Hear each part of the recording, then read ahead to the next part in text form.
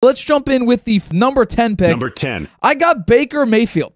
Now I was really debating this, uh, but I, I talked to a, I talked to a couple of my friends about you know this top ten list and what they thought about it, and you know the, the basically what we've seen so far this season, uh, Baker Mayfield's fifth in QBR, tied for eighth in passing touchdowns, eighth in passer rating, eighth in completion percentage, has more touchdowns and a significantly higher completion percentage in the same time frame as the Rams, uh, as as like when he was on the Rams last season, four games, he's significantly better, and he's light years above his first four games with Carolina. He has the Bucks leading the NFC South as uh they, they're three and one right now. Now we thought, at least on this show, yeah, the Bucks with Baker Mayfield, they're going to implode. There's a chance they could be looking at Caleb Williams, and depending on how you look at it, fortunately or unfortunately, the Bucks may have a viable long-term quarterback in the name of Bacon. Uh, sorry, Baker Reagan Mayfield. So he's at my number ten on this list. Let's go with the next one. Number 9. Number nine, I got C.J. Stroud. The Texans have found their long-term solution in quarterback. I know it's early. It's only week four. We're heading into week five right now. However, he has looked extremely poised under the pocket. Uh, he's fifth in passing yards right now. He's second in yards per completion behind Tua Tagovailoa. He's third in yards per attempt behind per, uh, Brock Purdy and Tua. He's fourth in yards per game, ninth in passer rating, and he's one of only three starting quarterbacks without an interception. He is very, very careful with his reads. Nico Collins looks great. Robert Williams looks good. And Tank Dell looks surprisingly efficient being that young. So CJ Stroud is number nine. Let's go to number eight. Number 8. So number eight is Kirk Cousins. Now he's moved up since my original uh, top ten list. Uh, he's uh, I understand they're one in three. They haven't been able to win any games. However, Kirk himself individually is fourth in passing yards, third in passing yards per game, sixth in passer rating. He's tied for first in passing touchdowns. With surprisingly, this is going to change, but he's right now he's tied for first in passing touchdowns with Justin Fields. He's tenth in completion percentage. He's tied for the he's tied for the eighth highest graded passer uh, behind or I guess tied with Lamar and Patrick Mahomes.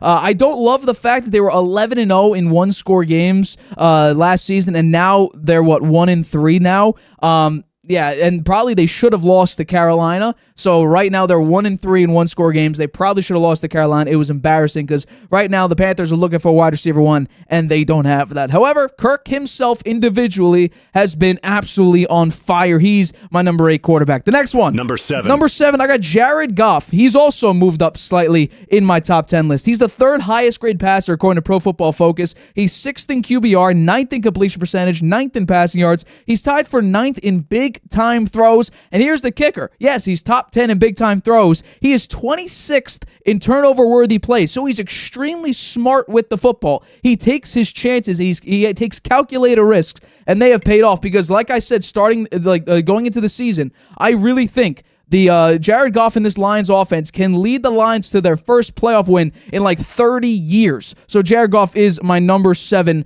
quarterback so far entering week five. Let's go to the next one, which is number six. Number 6. I got Lamar Jackson. Now he's moved up, I believe, two spots. He was number eight originally. Now he's number six. Uh, right now he leads the NFL uh, as as uh, with quarterbacks at least, uh, in rushing yards and rushing touchdowns. He's being incredibly efficient with the football. Now, now the numbers don't really put him in this list. However, what he's done so far this season with an injury-riddled receiver core, and now his offensive line is all banged up. He's second in completion percentage, seventh in pass rating. He's tied for the eighth highest passer, uh, graded passer. Like I said, Kirk Cousins and Mahomes are the other two uh, that are tied with him.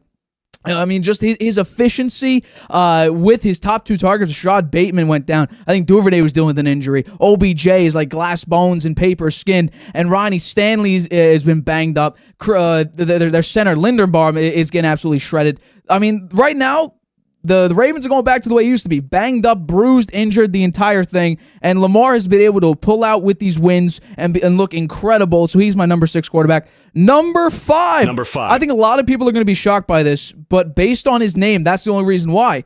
Numbers wise, Patrick Mahomes right now for me is the fifth best quarterback. Uh, he is he's the fifth highest in turnover worthy plays. He got outplayed by Zach Wilson and Jared Goff. And honestly, a lot of people think because the NFL, Taylor Swift, Travis Kelce, he probably should have lost against the Jets too. But if you get play, outplayed by Zach Wilson, if you get outplayed by Jared Goff, and you you are extremely careless with the football, you can't be number one. In my opinion, you can't be even top three. You're number five. However, there is some positive so far to Patrick Mahomes' game this year. He's tied for sixth in passing touchdowns. He's 12th in passing yards. The shocker is he's 21st in completion percentage. And like I said, with, two other quarterbacks, he's tied for the eighth highest graded passer with Lamar and Kirk Cousins. The Chiefs the Chiefs offense offense right now this season does not look as dynamic as it has in the past. And right now, the story is no longer about this Chiefs offense with Mahomes making miraculous plays. It's about Chris Jones and this dominant defense. It ain't about Mahomes. Mahomes so far this year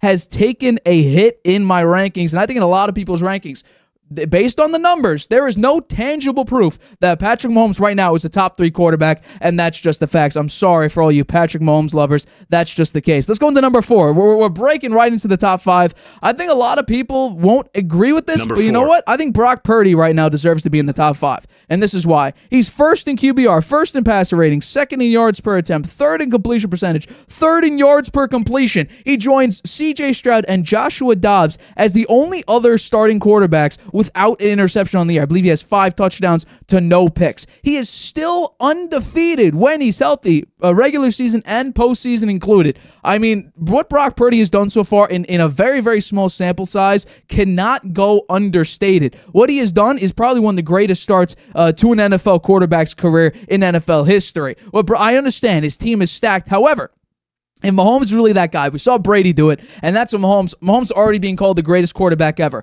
If Mahomes really was the greatest, he should be able to take receivers like Kadarius Toney, like Skyy Moore, and, and like all these receivers that aren't, you know, true wide receiver ones, and elevate them to the next level. Now he has Travis Kelce, but in Week One when he didn't have Travis Kelce, he looked nervous. He did not look all that great. Brock Purdy, what he has done is the same thing Jimmy G has done, except on a safer, I think, slightly more elevated level. He is efficient with the football, finding the open receivers. He doesn't make the big mistake. However, I think honestly, he actually steers away from big mistakes and actually plays it pretty safe, but it's pretty easy with a stacked team like the 49ers. What Brock Purdy has done is he's lived up to the hype, and right now he's going to play the Cowboys, which we'll talk about, you know, later on in the show. He has performed to the upteenth degree. He's my number four quarterback so far entering week five. Let's go to number three. Number three. This was a lot of debate. However, I think it makes a lot of sense. Justin Herbert is, is the third best quarterback right now in the NFL. He's second in percentage of on target throws, extremely accurate with the football. He's seventh in passing yards, sixth in completion percentage, eighth in passing touchdowns, fifth in passer rating, seventh in QBR, fifth in yards per game. He has a seven touchdown to one interception ratio right there. And honestly, I think a lot of people can see it right now. Justin Herbert is what's keeping the Chargers afloat so far. Brandon Staley, now the defense with Khalil Mack in that last game was very good. He had six sacks. However, it was against Aidan O'Connell and a depleted Raiders offensive line. So what I'm going to say is Justin Herbert right now is the reason why the Chargers are winning are, are basically winning right now. Uh, he, I mean, for the past few years, it's really been Justin Herbert or bust. It's been coaching and defense that has screwed over Justin Herbert and this Chargers offense into winning more games. What he has done so far is absolutely incredible. He's on one of the best starts to a career. I mean, you look at a 300 yard passing seasons consistent, or 300 yard per game passing seasons. I mean, what he has been doing is incredible. Uh, so Justin Herbert right now is the third best quarterback in the NFL. Let's break down number one and number two. Number two, number two. is Josh Allen. Josh Allen now, I think some of you are going to be arguing about two and one. However, uh, Josh Allen just beat Tua Tagovailoa last week and now heads to London to play the Jacksonville Jaguars. Uh, he's first in completion percentage. He's tied for second in big time throws, third in passer rating, third in QBR. He's tied for third in passing touchdowns. And here's sort of why. And you know what? I'll bring up the number one answer just so I can compare and contrast these two. Number one. Number one is Tua Tagovailoa. So he lost to the Jets in week one, right? Since then, the Bills are scoring 41 points per game. So the offense has absolutely exploded, and right now he currently leads in, in the MVP conversation. However, I'm still nervous about the fact that he's very, very turnover prone.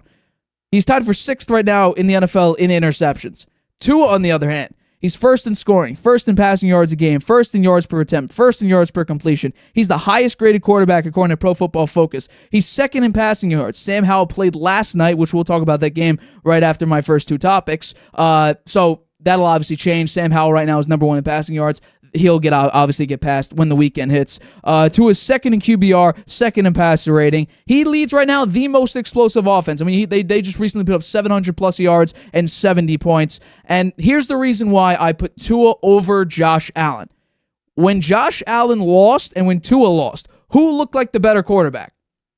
Tua in his loss looks significantly better than Josh Allen in his loss. So, yes, they both went 3 1. And yes, Josh Allen did just beat Tua. However, Tua played much better in his loss than Josh Allen did in his. So, that's basically what I'm saying. That's my top 10 list right now. Tua 1, Al- or sorry, yeah, Tua 1, Allen 2, Herbert 3, Purdy 4, Mahomes 5, Lamar 6, Goff 7, Kirk 8, Stroud 9, and Baker hits number 10. Hi, everybody. Thanks for watching. Make sure you subscribe here to get the latest from the show. Also, if you want to check out the full episode, make sure you click the I in the top right hand corner right now. If you want to listen to this show anywhere you go, make sure you go to anchor.fm slash the Harvey Hour or anywhere you get your podcasts.